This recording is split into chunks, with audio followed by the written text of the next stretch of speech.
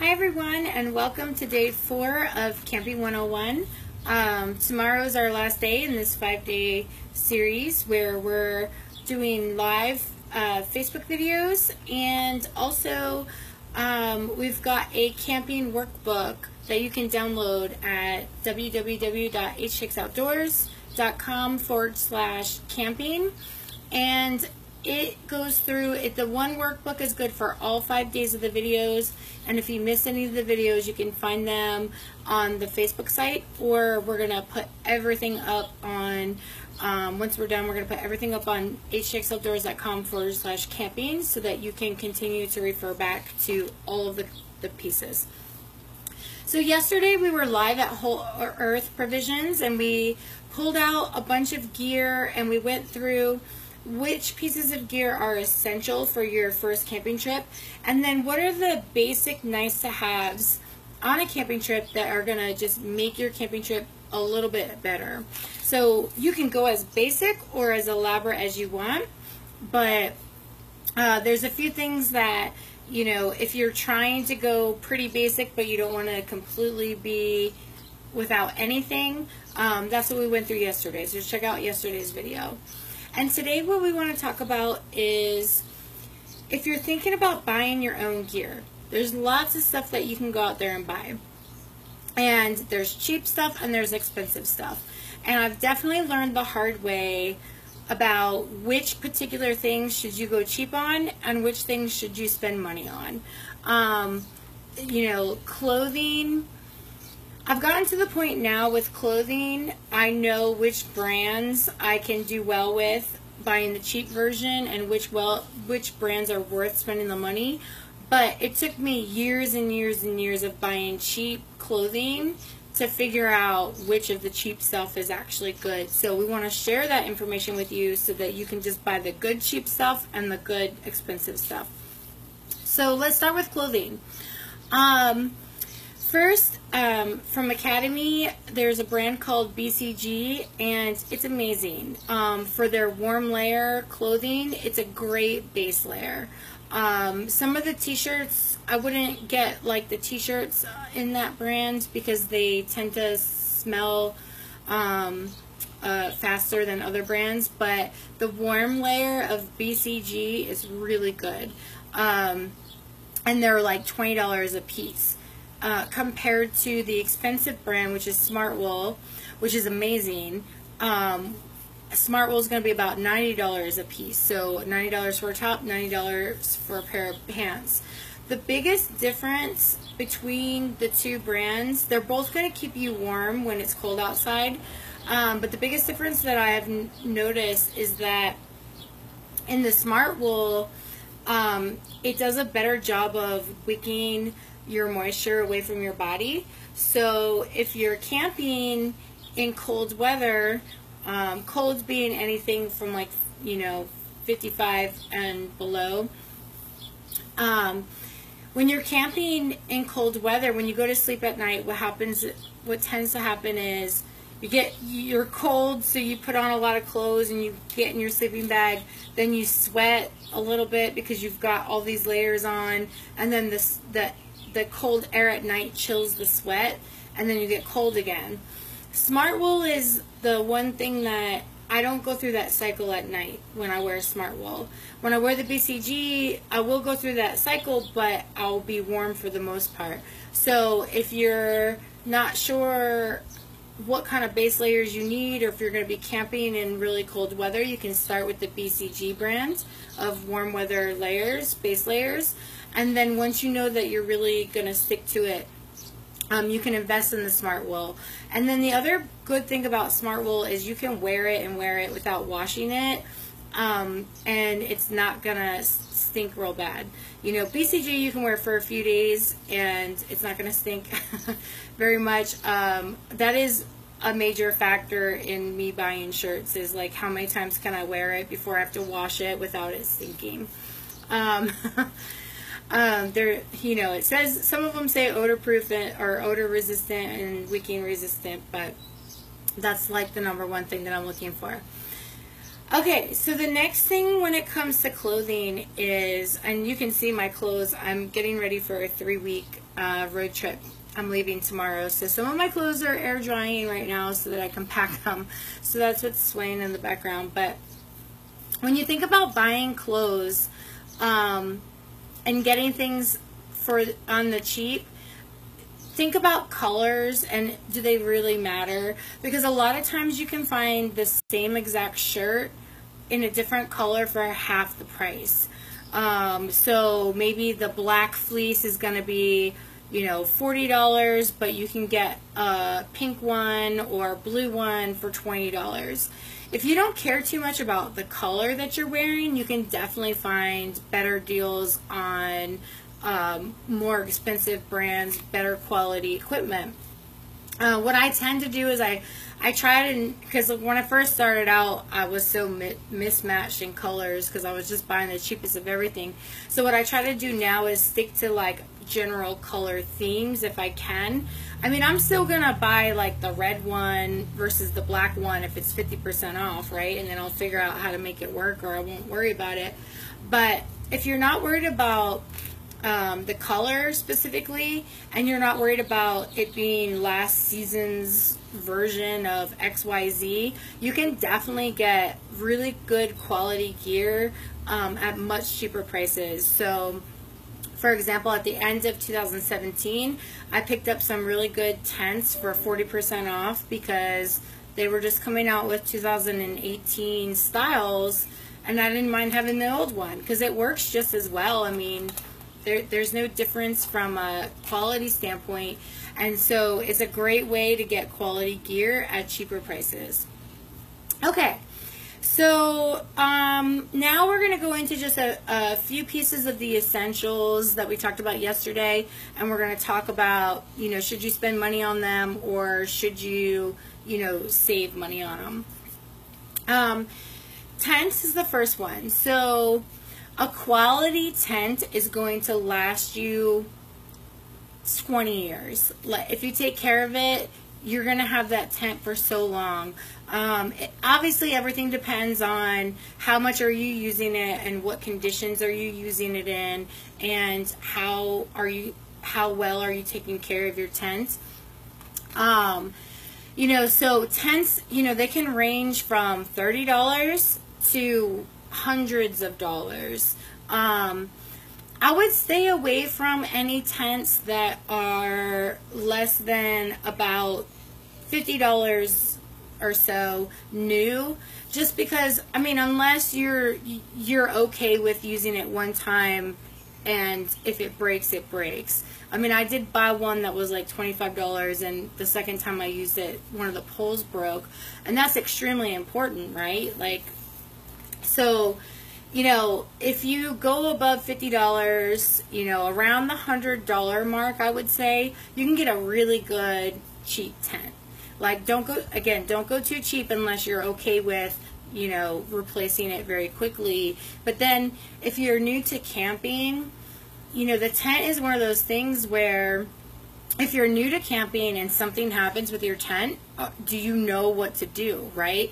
So if you get a cheap tent because you're like, I'm not sure if I want to go camping, um, so I don't want to spend a lot of money, but then a pole breaks or it starts leaking or, I mean, those are the two main things that would go wrong.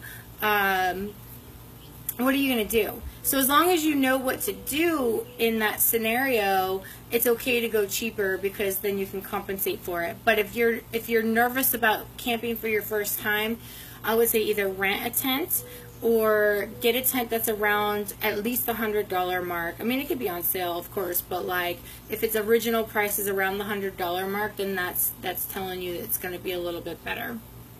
Um, you know, the first tent I bought, I bought used. I it was a no name brand tent. I bought used. Um, I used it for 15 years, but luckily I did not camp in any rain. So the first time it rained on me, I got wet. It just, the whole thing leaked. And I mean, maybe it wouldn't have leaked 15 years earlier, but by the time it rained on me, it, you know, I was getting wet. So You can also buy, if you are going to do a cheaper tent, you can buy a spray that will waterproof the outside. Now, when you're waterproofing things, sometimes it loses the breathability, so you just want to weigh which is more important, um, the breathability of the fabric or it truly being waterproof.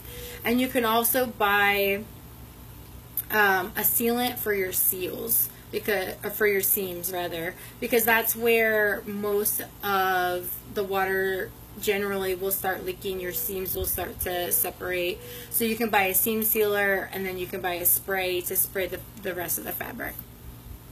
Okay so that's tents um, the next is hydration packs. So a hydration pack is the book bag that you're going to wear that has a water bladder in it so that as you're hiking um, you can there's a hose and you can just drink water and it's reusable so that you're not wasting plastic bottles. Hydration packs you can definitely go cheap on especially in the beginning. Um, you know, buy something, but when you're going to buy a hydration pack, make sure you get one that has a waistband on it and not like a flimsy one strap waistband. You want something that has cushion that sits on your hip bones. Um, because this is going to help you start getting ready to carry weight on you. So especially if you think if you're thinking about backpacking, uh, you're going to want to be able to ramp up with backpacking. So you want a book bag or a hydration pack um, that you can put a little bit of weight in 10 15 20 30 pounds um, and you want a waist strap to hold that weight on. So you can go cheap. I mean CamelBak is the kind of like the Kleenex of hydration packs. Um, they're really really good backpacks. I you know my my second hydration pack was a CamelBak and I had it for 15 years, and the only reason it started really breaking down was because I started bringing it kayaking and in the ocean and stuff, and you know, water and especially salt water is really durable. Um, it really puts an impact on your gear, so you want to make sure if you are bringing it in water and especially salt water that you're cleaning it properly. So CamelBaks, the good ones, if you invest money in them, they're going to last you a really long time.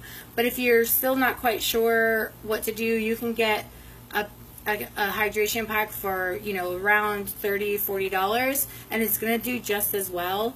Um, but if you get a CamelBak that's 100 to $150, it's still going to do well and the, it's going to be a lot more durable. So if you know you're ready to upgrade, you know, definitely go for a CamelBak level one. Um, I did CamelBak and then I did a BCG one. I think the new BCG camel, uh, sorry, hydration packs, um, they don't have the waist strap anymore, so I'm, I'm actually looking for a new one. So if anybody has recommendations on hydration packs that they like, please put them in the comments section because I'm, I'm searching for a new one for myself. And I'll let you guys know what I decide on once I get it. Sleeping bags, I think, are definitely worth the money. So a tent, you can always rent a tent and you can rent various ones so that you can get a feel for what size tent do you want, what features do you want in a tent. Um, if you don't know if you're going to go multiple times, it's better to spend $25, $45 to rent a tent than to buy one for 25 to $45 as we, as we just discussed. So you can always rent the tent, but for a sleeping bag, you can rent sleeping bags too, but that's going to be personal preference on whether or not you know you want to sleep in something that's that other people have been in. Um, for me you know you can always use a sleeping bag. So you can get really cheap ones that are quality at academy. It's the Magellan brand sleeping bag. They're 30 degree bags. They're very roomy. Um, we talked a little bit yesterday about how to pick a sleeping bag so please refer to yesterday's video for that but the BCG bag at Academy, I think it's about $50 or so. It's a perfect starter bag. So if you want something that's going to last and keep you warm and also has some options, it has a foot zipper, which is awesome. You can't stick your feet out because there's a little netting, but actually I would cut that netting part off um, and stick my feet out. Now, if you're going to be camping uh, sleeping outside of your tent, you might want to keep that netting on just so bugs don't go in. But outside of that, it's a great starter bag. Um, my bag, I think I spent about $200 for my bag and I bought it 18 years ago and it's still my favorite bag ever. I actually got it in Australia. Um, I've tried to look to see if I can find it online, but um, I haven't quite found exactly it yet. But my bag is a 24 degree bag. And when you're looking at bag ratings, uh, degree ratings, the degrees that the bag is rated is not necessarily the degree that you're going to be comfortable in. So if the sleeping bag says it's a 30 degree bag, that doesn't mean you're going to be warm and toasty and 30 degree 30 degrees outside. That's more of a survival rate. So it's like yes, you'll survive in it at 30 degrees, but you're going to need other layers. You're going to need to wear other layers in a 30 degree bag if it's 30 degrees outside. So my 24 degree bag, I with with my Smartwool base layers and like hat, I will be warm in about 30 degrees. Um, but I'm wearing Smartwool socks, I'm wearing down booties, I'm wearing Smartwool base layers, I'm wearing um, some kind of head cap, and then I've got my mummy bag cinched up. If if if I'm not dressed in all of all of those layers, then I think my 24 degree bag is good for about 40 to 45 degrees in just like light layers. And then in 60 degrees, what I do with a 24 degree bag, because obviously it's going to be a lot hotter. Um, a lot of times I just leave it unzipped and use it more like a blanket um, so that you don't have to buy two, right? Because the warmer bag is always going to keep you warm, but a cooler bag is not always going to keep you warm, right? So if you buy, let's say, a 50 degree bag, that means you have to weigh way more, you have to wear way more layers at night if it's going to be less than 50 degrees. Um, if you have any questions about that, I went through that kind of quick. Go ahead and email me at amyhope at htxoutdoors.com. Put them in the comments section or uh, make sure you're downloading the workbook so that you can read what we wrote about each of these things. Okay, we already talked about base layers. I'm looking at the workbook. Um, we already talked about base layers, so um, I'm going to skip that. Rain jackets. Rain jackets are one of the things that I've spent a lot of money over the years buying various rain jackets and none of them working. So what I have now, I would say go um, go quality, but look for deals because you don't need a rain jacket every day. So anytime you're, you know, perusing at any of the outdoor REI or whatever, keep an eye on the rain jackets. Go try them on, see what you like, and then keep an eye on them and wait for them to go on sale um, because they will go on sale. And then um, so buy quality, but but look for deals on them. The rain jackets that I have, I have the REI um, trench coat one. It's probably called something else, but you'll know it when you see it. They only, I think they only have one trench coat at REI. Um, it's it's really good. It has kept me dry. Um, it's long, um, and it's windproof. That's really important because um, I feel like a lot of times when it's raining, it's also windy. So I like that particular rain jacket for when it's a little bit colder outside or if it's windy. And I'll actually use that even if it's not raining. I will still use that jacket as my windproof base layer if it's cold outside or cold and windy because I'll just put fleeces and Smartwool underneath it and then I'm warm because I've got my rain jacket that also doubles as a wind jacket. And then I have a light layer, I think it's a Marmot light layer rain jacket that has armpit zips. Armpit zips are my favorite thing ever because if it is windy and, or it's raining and you need to have your jacket on but you're hot at the same time, you can unzip your pits and you get great ventilation without getting wet. It's armpit zips are like almost a necessity for for my gear. Um, okay, headlamps. if you're doing basic outdoor activities, you can go cheap on a headlamp. Um, it's just a light source that you need. So go cheap, get a light source, get a flashlight. Headlamps are nice because you can use both of your hands if you have a headlamp. Um, if you're going to be doing stuff like more hardcore activities like trail running at night or caving, you're going to want to spend the extra money to get a really bright light. Um, but outside of any extreme activities, you just need a light source. And you can get cheap ones that are bright. You can get cheap ones that are really good. So, you know, don't don't invest in in like this awesome headlamp off the bat. Just start with something cheap until you know exactly what you want and then you can go from there. Socks are extremely extremely important. Definitely invest in socks and it's a hard transition because I only wear Smartwool socks now, and they're the minimum price for a Smartwool sock is $15, I think, and they go up to about 25 or so dollars. But all of the socks that I have are Smartwool socks or an equivalent um, wool sock. But the majority are Smartwool and everything is a wool sock It's definitely worth worth the money. Your feet stay drier, they stay cooler, they stay warmer, all at the same time. So I wear the thin running sock, the thin running Smartwool sock in my hiking boots, but I'm not a big, I, I don't like um, things on my feet, so I typically don't wear the thicker ones. A lot of people, I mean, they make a medium weight one. And then when it's cold at night for camping, when it's cold, I wear the really heavy ski socks, Smartwool socks, like the ski ones that are medium or heavy brand. They go for all the way up to my knees and they're amazing. I love those. And then I couple that with the REI down booty and my feet are nice and warm and dry and it's amazing. Um, if you can keep your feet and your head warm, um, and your chest warm, you're going to be warm on a camping trip. So I do, I take care of my feet. I have um, fleece vests and then something to protect my ears and my, my head.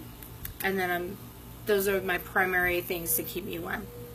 So those are just a few things um, that about how to save money when you're looking to start your outdoor gear. We started with the essentials.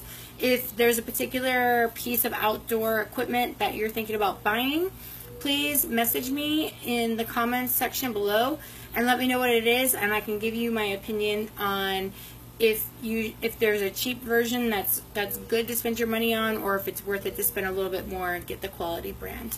So just let me know. And tomorrow we're going to be talking about where to camp which is perfect timing because I'm headed on my road trip to Yellowstone tomorrow so I'm going to have plenty of places that I'm stopping along the way. And we're also going to talk about I'm also going to post about where I'm going on my road trip um, all of next week, all for the next three weeks actually. So stay tuned for updates about the road trip as well, and I'll see you guys tomorrow. Bye.